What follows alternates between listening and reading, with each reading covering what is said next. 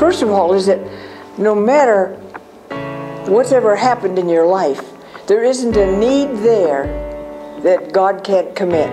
Well, I've done this, I've done drugs, I've done sex, I've done this, I've had abortion, and God can't forgive me. Yes, He can.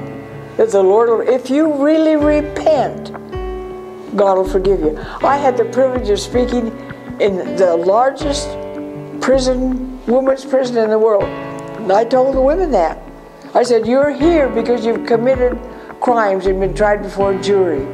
But if you really want to repent, God will forgive you.